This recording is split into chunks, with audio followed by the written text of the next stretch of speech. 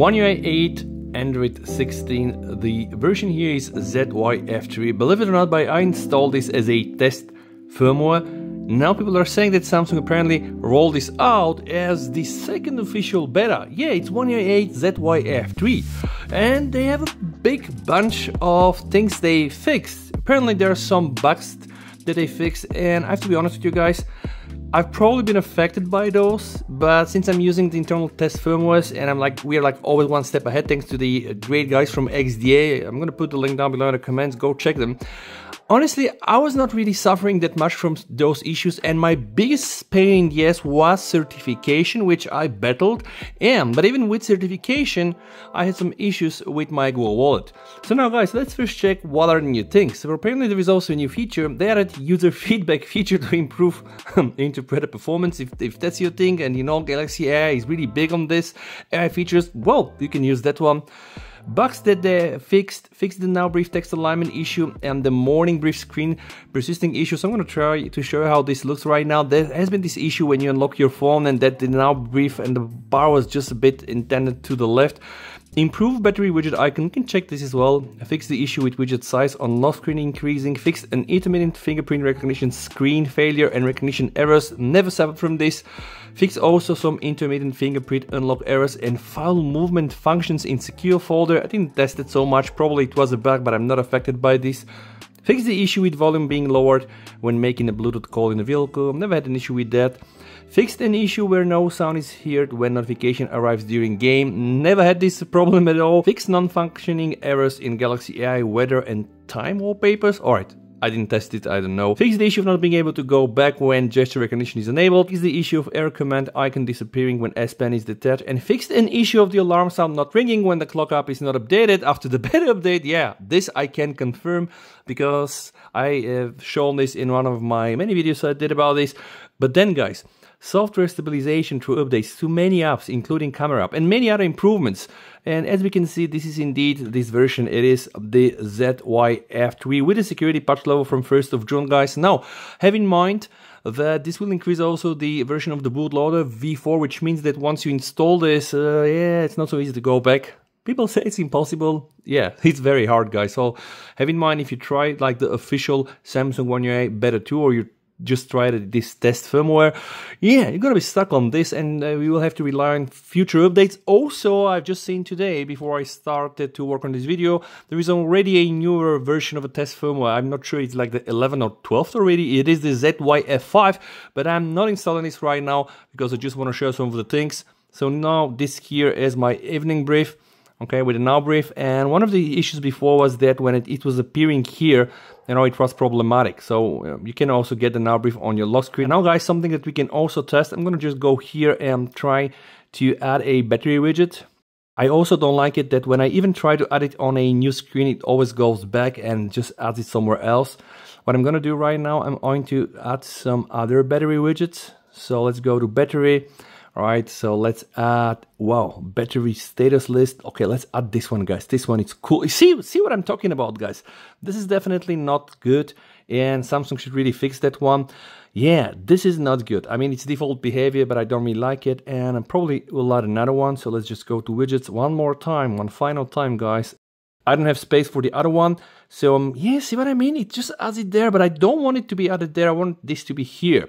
So now they said that apparently mm, this thing is fixed. So I'm just checking on the alignments. Okay, no, doesn't look that bad by the way. Can we do something with this? We can apparently resize it. So let's try to resize that one. Can I resize this as well? Let's try. All right, I can. So this can go like this and this and this. And so there are like three options, option one, two, and option three. Can I resize the small one? One, two, three. Okay, good. So I'm thinking, yeah, this one, absolutely, it works. This is good. Now let's check some of the now brief settings. So we have the now brief here. Okay, get personalized briefing and you all know how it goes guys. We have this option to expand the now brief without unlocking and we have content to be included. Now you can see Samsung really added a lot of things. We have health and wellness, travel, events, tasks, routine. So there's going to be a lot of things on this now brief. YouTube Shorts included battery status, music and podcasts moments, communication. So all of this will go there. And eventually you can decide to also expand the now brief without unlocking. So when you see the now bar on your lock screen, you can just tap on this and unlock it. All right, let me just try to put some music on. I started Mr. Playboy Carti, but without sound for obvious reasons. Now I'm gonna get it here, okay? Now it, it's good, by the way. You can just see the way it just unravels. I really like it, guys. Yeah, it's not liquid glass, apparently, but the animation is cool. And you can just go here and boom, have it. So what happens when I go on my always on?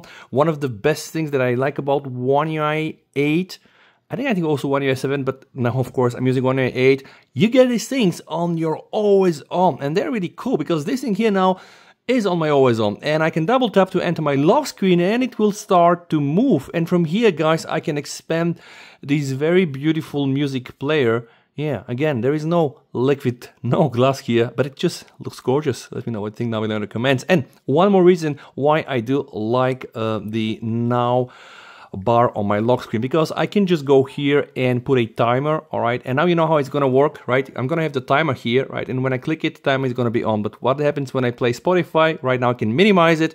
And now guys, by double clicking, I'm gonna have actually these two things. And honestly guys, it doesn't really matter how we mock Samsung. This implementation is cool. And I know, like you can tell me, yeah, you know, they ripped off Apple with the Great Dynamic Island and stuff like this. But everybody in the industry is doing it with Origin, OS Island, when this and that. I don't really care as long as it serves me. It has a purpose and it's good. But why? Why One UI matters here, right? When I go on my always on, you can see that my little sweet timer actually does work. And we can see now the now bar is perfectly aligned. So always on display, you know, my widget works. Yeah, I know, maybe it's gonna drain some battery. Who cares? I mean, we don't live in the Stone Age, of course. Now double tap, going to the lock screen, and you can see the animation here, guys, It's just so good, all right? Always on lock screen.